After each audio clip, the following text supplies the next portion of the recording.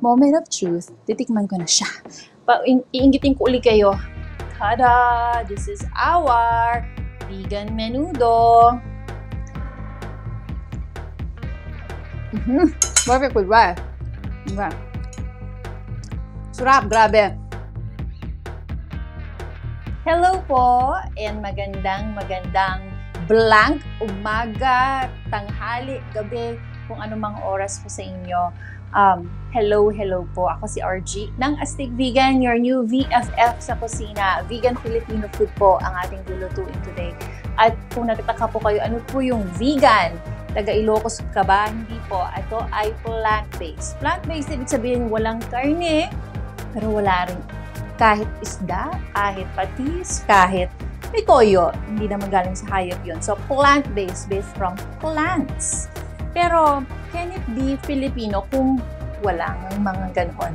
So, um, usually pag ganon ang sinasabi, ang iniisip natin ay pinakbet or um, chop suey, which are very, very delicious in fairness, no? Masarap naman sila. Kaya lang maraming marami pang mga recipes na pwede nating matutunan na healthier, guilt-free. Ayan. And today we will make plant-based menudo. Very, very simple ingredients. So for now, meron kayong stove, meron kayong kalan, lalagyan naman natin, meron kayong apoy or heat. Marami nagtatanong anong oil. You can use canola oil, but you can also uh, use coconut oil.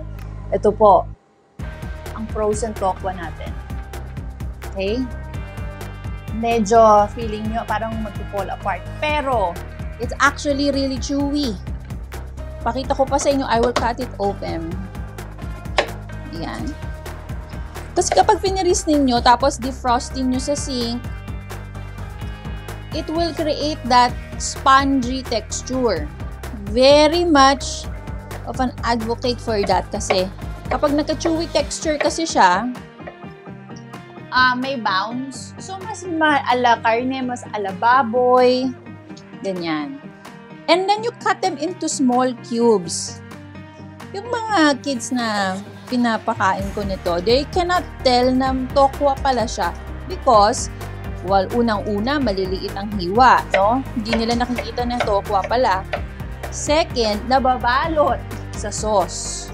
So, pipisilin lang natin ng konti para mawala yung katas and then, we will fry. Yan. Nakita naman po ninyo, no? Maliliit ang hiwa. Maliliit na cubes. Yung iba, hindi perfect cubes, but it's okay because as long as they're bite size. Now, let me get to the rest of the ingredients. So, this one is uh, bina, uh, binabad ko po siya sa tubig na merong uh, calamansi juice. You can use lemon juice. You can use any kinds of citrus uh, or even a little bit of vinegar. The reason why is because maningitim siya. It will oxidize. Oxygen, naman tayo, oxygen will go inside the, um, the walls of the potatoes at magiging black. So it's no longer appetizing. Another way na to infuse meatiness is of course Menudo has hot dogs. How can you get plant-based hot dogs? Meron na po dito sa Pilipinas. There are tons actually. So this is what it looks like. Hot dog or sausages. Meron na rin sa Pilipinas na plant-based or vegan na tinatawag. Uh, you can find this at major supermarkets but also at vegan grocery stores. Use a, yung tawag na colander na, or colander or strainer para mas makuha ang potatoes.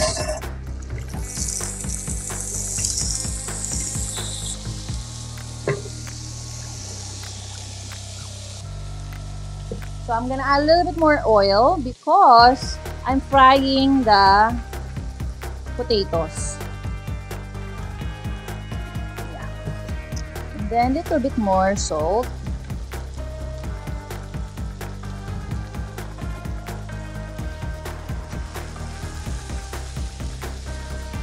okay na siya and this is what we are looking for.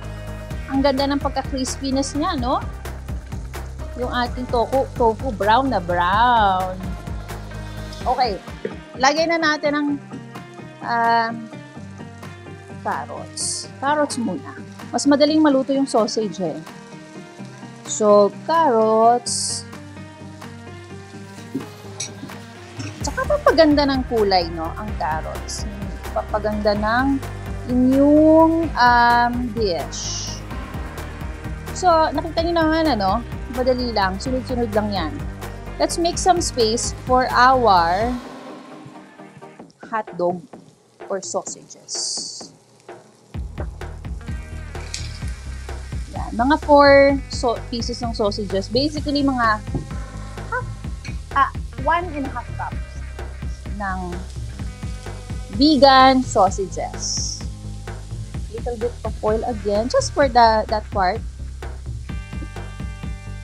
So this is not as healthy as a salad, ha? Because, of course, it has little bit of salt, little bit of fat, little bit of, if we will put sugar.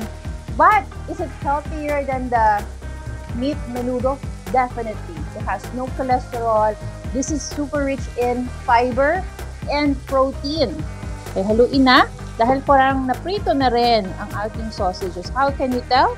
When you have this type of you know, brown na siya. Brown ang ating sausage. Nagmumukha na bang minudo? Almost, no? Okay? And now, now it's time for that gisa I was telling you about. Okay, so, kasi hindi naman siya minudo kung hindi siya nagisa. So, we will save some. Save some space again. Put the more garlic, the better, no? So, mga 1-4 cup yan. 1-4 cup ng minced or tinatad. Pwede rin tatarin na garlic. Few seconds lang yan. Unahin ninyo yung garlic. Tapos, lalagyan natin ng onions. Onions red or white or ano pa? Yellow. Uh, in the Philippines, we are gonna use the native red. You may internationally, whether Okay ba? Internationally, whether you are going sa hinaanan natin ng apoy, no? Sa whether you're in Australia or US, you can use yellow. The difference is that the red is actually more pungent. Ayan, more zesty. Para lang lumabas ang kanyang natural juices. So, let's add, speaking of natural juices, no? Makulit ako dito natural juices meaning you have to add a little bit of salt para lumabas ang kanyang tatas. Doesn't have to be a lot of salt, just a little bit. Haluin uli. Now, dito sa Pilipinas, you have a choice of uh, organic or regular na garbanzo beans. Ang dami, no? Yes. Kung ay, ay ng mga chikiting para mga adults, sila sa garbanzo beans. Let's add the seasoning. Um, lagyan natin ng asukal. 3 to 4 tablespoons. Ayan.